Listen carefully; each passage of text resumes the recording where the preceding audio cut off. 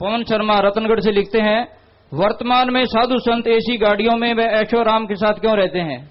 क्यों? संतों के लिए क्या कोई पाबंदी लगी हुई है? संत ऊँट पे बैठ के आए दस दिन में पहुँचेंगे रतनगढ़ सरसा से। क्या संतों ने किसी से ऐसी गाड़ियाँ मांग के ली हैं? हम अपनी कमाई करते हैं हम भी ट्रैक्टर चलाते हैं हम भी खेती बाड़ी करते हैं। उससे जो आमदन आती है अपना कपड़ा पहन पे गाड़ी लेते हैं। तो पेट में दूसरे के दर्द क्यों हो रहा है? क्या आपसे कोई दान मांगा? क्या दक्षिणा मांगी? अगर ऐसा कुछ मांगा हो तो तो आप कहने की हकदार क्यों लेते हैं?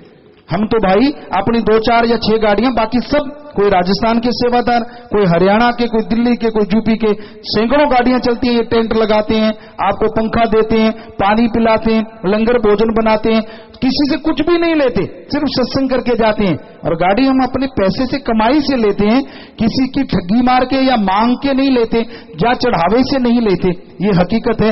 अपनी मेहनत की कमाई से चाहे कोई जहाज़ ले ले, किसी के पेट में दर्द नहीं होना चाहिए। हाँ किसी का हक मार के नहीं खाना चाहिए, किसी के मुँह का निवाड़ा छीन के नहीं खाना चाहिए, वरना आदमी की जो मर्ज़ी, वो मर्ज़ी का मालिक कुछ भी बना सकता है।